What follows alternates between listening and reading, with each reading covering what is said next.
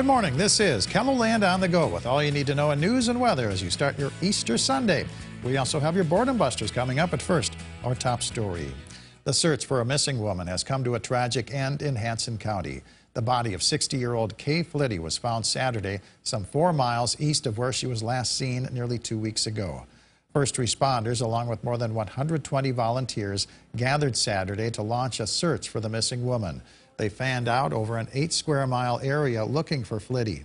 Search organizers appreciated the large turnout.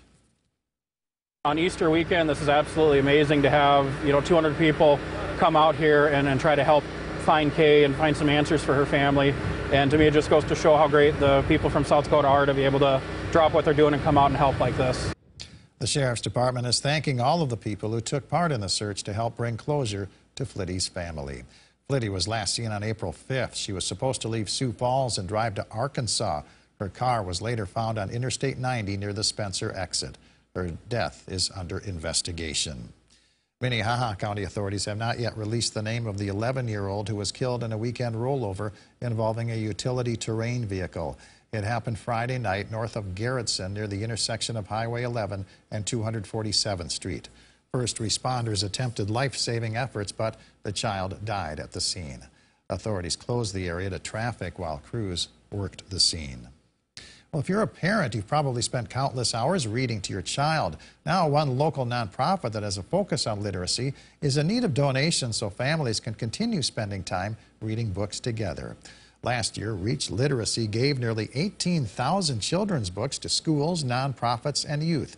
Reach is currently in need of more donations from the public, especially children's books. We'll take your books from board books all the way up to middle school.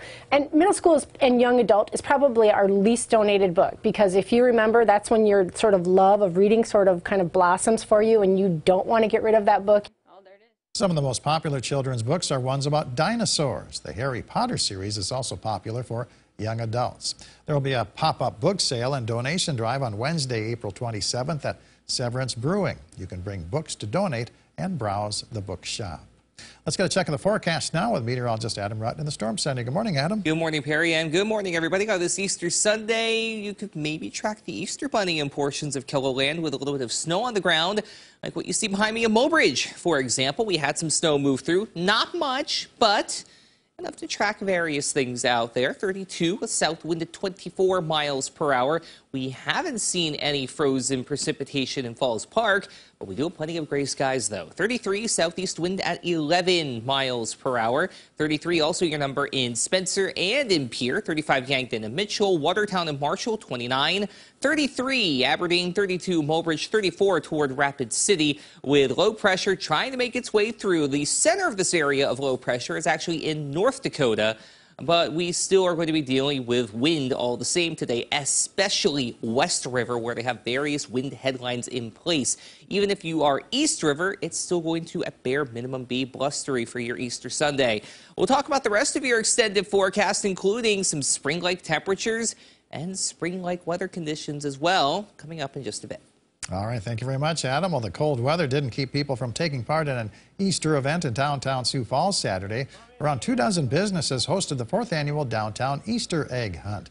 Parents and their children walked up and down Phillips Avenue collecting colorful eggs filled with treats. First Reformed Church in Sioux Falls is hosting an Easter egg hunt starting at 10 a.m. Families are invited in the fellowship hall for donut holes and instructions. The egg hunt will be in the lower level of the education wing and also in the East Edition. Well, if you can't make it to Easter Sunday services today, KELOLAND Media Group will bring the services to your living room. Our coverage starts at 10 a.m. Central Time with a broadcast of Sunday TV Mass from St. Joseph Cathedral on KELOLAND Television. That's followed by Celebrate Church at 11 a.m. on KELO Extra. We'll broadcast Zion Lutheran services at 11.30 on KELO TV and Brookings First United Methodist at 11.30 on KELO Extra. First United Methodist broadcast will air at 12.30 on KELOLAND TV. Movies playing at the Historic State Theater in downtown Sioux Falls include Steel Magnolias, rated PG, and the award-winning film Coda, rated PG-13. Adam? Well, here are those wind headlines I was mentioning before. Wind advisory in tan from areas just west of Aberdeen through a majority of our West River communities.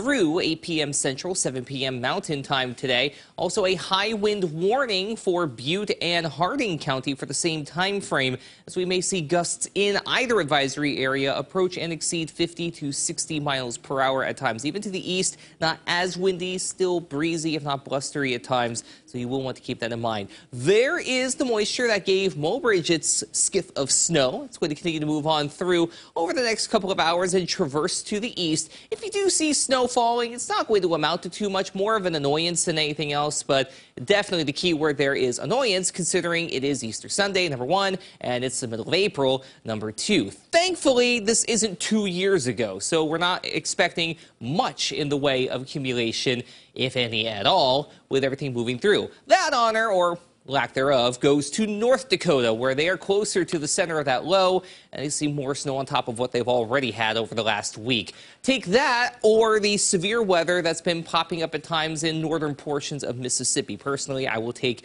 the former over the latter each and every time for Easter Sunday.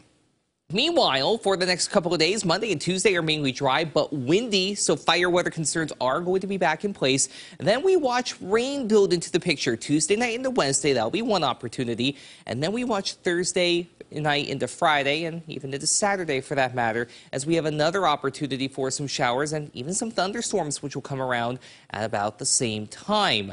And the setup for Friday into Saturday is going to be similar to what we had not too long ago with that little flare up of severe weather where we have warm air and cold air converging nearby. So we'll watch that as we head through the next couple of days. Beyond the seven day forecast, above average temperatures overall win out the further south and east you go, but we do try to moderate beyond the seven day forecast itself. This is also something we like to see chances for above average amounts of moisture, be it rain or at least in some cases this morning, a little bit of snow as well. We have a wedge of 50s for high temperatures today here on South and west into Mitchell, Valentine, and even toward Rapid City. Either side of that wedge, we'll see highs in the 40s and even into the 30s toward Faith and Buffalo. Overnight low temperatures tonight bottoming out in the teens and 20s as we gradually clear out and the wind does back off temporarily, only to pick up again as we head into your day on Monday. 40s East River and some 30s to the northeast, around 50 the further west you go.